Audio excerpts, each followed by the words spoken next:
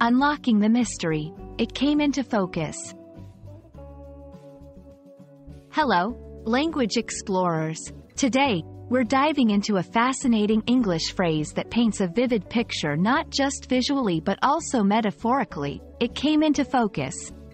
Whether you're a language learner or a curious mind, understanding such expressions can unlock new levels of comprehension and expression in English. So, let's zoom in and bring this phrase into sharp clarity. At its most basic, it came into focus, refers to the process of an object becoming clear and sharply defined visually. Imagine looking through a camera lens or a pair of binoculars. At first, the image might be blurry, but as you adjust the lens, the image becomes clear and detailed. This literal action of bringing something into focus helps us understand the metaphorical uses of the phrase. Clarity and understanding or situation.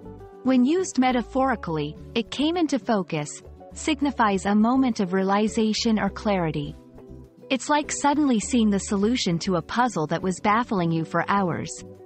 This can apply to understanding complex concepts, making sense of a situation, or gaining insights into a problem. It's that aha moment when confusion dissipates and everything seems to click into place. Emotional or conceptual realization. The phrase can also describe an emotional or conceptual realization. For instance, someone might say, after years of study, the true meaning of happiness came into focus for me. Here, it's not about visual clarity but about reaching a deep, often personal understanding of an abstract concept or emotional state. In personal growth, after months of introspection, my life goals finally came into focus.